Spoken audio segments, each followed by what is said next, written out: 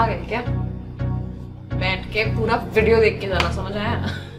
नमस्ते hello everybody आप सबका यहाँ पे फिर से एक बार स्वागत है और आज का video as promised it's going to be the first episode ये मेरा पहला एपिसोड है विंकेट बेसिक्स वाली सीरीज़ का।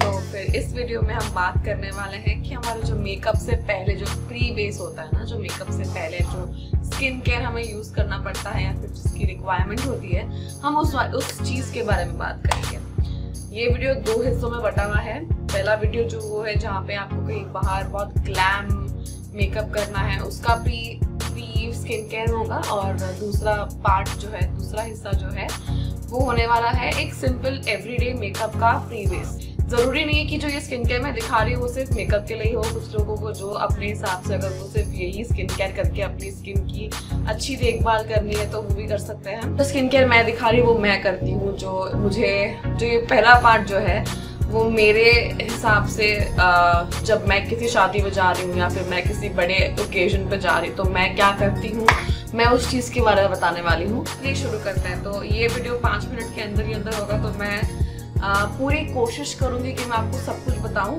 मैंने अपने बाल पीछे ले लिए हैं। मेरे फेस पे मैंने कुछ भी नहीं करा हुआ है। फेस पे कुछ भी नहीं है मैंने अपना फेस शायद धोया भी नहीं होगा। हाँ मैंने धोया भी नहीं है। तो जो पहला स्टेप होने वाला है वो होगा एक फेस वॉश ऑब्वियसली बात है शक्ल धोनी पड़ेगी आपको। तो उसके लिए मैं जो हूँ मैं अपना ये ये ऑलमोस्ट खत्म हो चुका है। ये मेरा थर्ड आई थर्ड है ये शायद ये दो महीनों में। तो मैंने अपनी शक्ल तो धो दी है।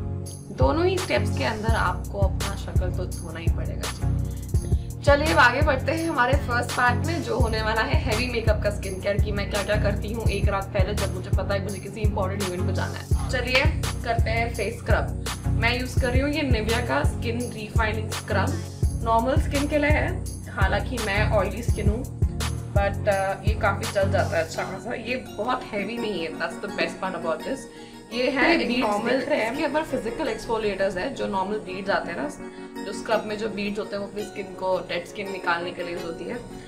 ये काफ़ी हद तक मुझे अच्छा लगा है। मैं इसका रिव्यू अपने इंस्टाग्राम पे डाल दूँगी आप चेक कर लीजिएगा। अच्छा तो मेरा नेक्स्ट स्टेप जो होता है स्क्रब के बाद वो होता है फेस शेविंग जो मैं भी करने वाली हूँ। मैं ये टिंकल का रेजर यूज़ करती हूँ। ये काफ़ी नुकीला होता है but it's good face skin करता नहीं है। और ये जो रेजर होते हैं वो फेस शेव करने के लिए ही बने होते हैं तो इसका आपको कोई भी एक्स्ट्रा ग्रोथ या फिर किसी और चीज़ की टेंशन नहीं होती है। इसका भी मैंने अपना पूरा ट्यूटोरियल जो है फेस शेविंग का मैं अपने आई पर डाला हुआ है इंस्टाग्राम पे। तो तीसरे स्टेप की तरफ़ चलते हैं, जो होने वाला है फेस पैक मैं ये खादी नेचुरल का फेस पैक यूज़ करती हूँ। ये मुल्तानी मिट्टी और सैंडलवुड का मिक्सचर है, जो ऐसे टिन में आता है क्यूट से डब्बे में आता है। आप देख सकते हैं ये पैक पूरी तरीके से सूख चुका पूरा वाइट हो गया है तो I just go wash it up and come back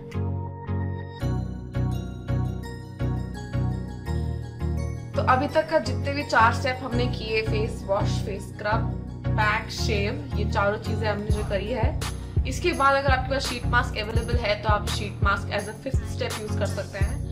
तो ये आपके जो फ़र्स्ट फाइव स्टेप्स हैं वो होने वाले हैं आपके फ़र्स्ट पार्ट जो होने वाला है हैवी मेकअप से पहले जो मेकअप के पहले जो स्किन केयर करते हैं उस पार्ट के अंदर आएगा।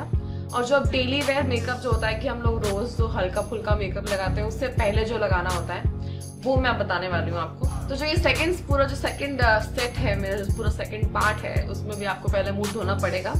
उसके बाद ही आप शुरू करेंगे समझ आया? तो जब आप क्लेंस कर लेंगे, उसके बाद आपको टोनर यूज़ करना है, जो मेरे पास है, ये ऑलमोस्ट खत्म हो चुका है। तो अभी आप देख रहे होंगे कि काफ़ी कम है। ये बायोटिक का बायो क्यूकम्बर टोनर है। ये मैं काफ़ी हद से ज़्यादा यूज़ कर चुकी हूँ। मैंने दूसरी बॉटल है शायद मेरी।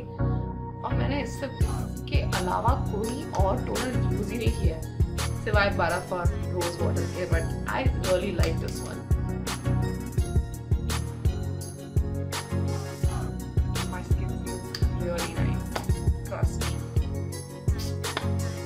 अपना जो भी लास्ट स्टेप है सेकंड लास्ट स्टेप वो होगा मॉइस्चराइजर मैं ये सिंपल का मॉइस्चराइजर यूज़ कर रही हूँ. ये सेंसिटिव स्किन के लिए इसके अंदर हल्का हल्का सा एस भी है.